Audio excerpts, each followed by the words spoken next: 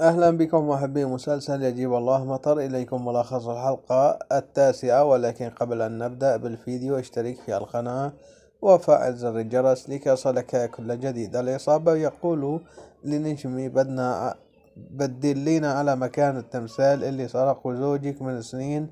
إلا بنقطع رأسك ونجمي بتقول ما بعرف شي وأنا فقيرة رجعوني على البقالية وبعد تحقيق كبير معها بتعطيه الرقم ابنها لحتى يجي ويتفاهم معهم.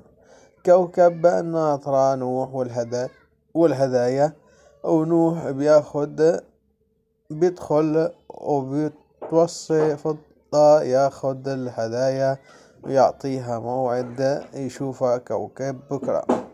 نوح بيجي لبيت كوكب وفضة بتقول له نايمي وابنه بيقول أبو هدول حركات الفنانات وبعد حديث طويل فضة بتصيح لكوكب وبيتقابل نوح وبيصير نوح يتغزل فيها.